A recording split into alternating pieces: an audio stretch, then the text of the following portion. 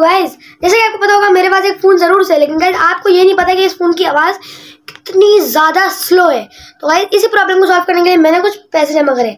और पैसे जमा करने के बाद मैं चला गया मोबाइल की दुकान पे। तो गाइज़ मोबाइल की दुकान पे जाने के बाद मैंने सोचा था कि एक एयरफोन लूँगा। तो गाइज़ मैंने एयरफोन भी ले लिया, लेकिन उसके बाद जो मेरे साथ हुआ, वो आप देख सकते हैं। गाइज़ एक दिन मैं अपने मोबाइल पे व्लॉग देख रहा था और ये देखें मेरे साथ क्या हुआ। अबे यार, चल क्यों नहीं रहा यार ये?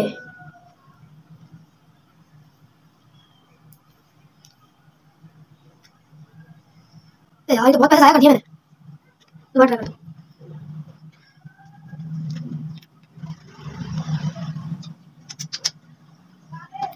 आज आपने देख ली मेरी प्रॉब्लम तो गाइज़ इसी प्रॉब्लम को सॉल्व करने के लिए मैंने एक नई चीज़ खरीदी। तो गाइज़ क्या चीज़ है? चलो देखते हैं।